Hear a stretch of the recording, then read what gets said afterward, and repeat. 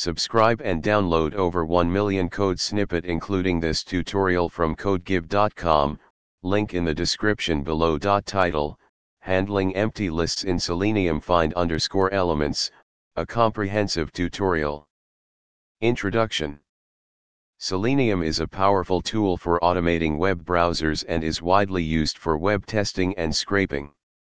One common challenge developers face is handling situations where the find underscore elements method returns an empty list. In this tutorial, we will explore the reasons for empty lists and provide solutions with code examples. Understanding find underscore elements in Selenium.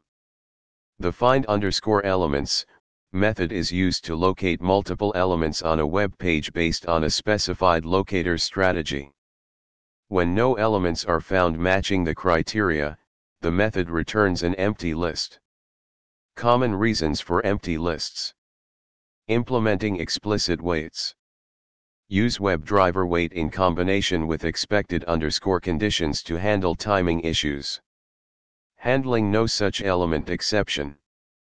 Catch the no such element exception to gracefully handle scenarios where no elements are found. Logging and debugging.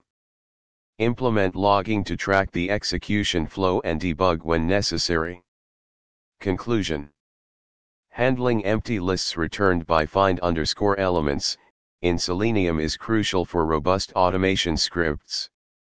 By understanding the common reasons for empty lists and implementing strategies like explicit waits, exception handling, and logging, developers can create more reliable and resilient Selenium scripts.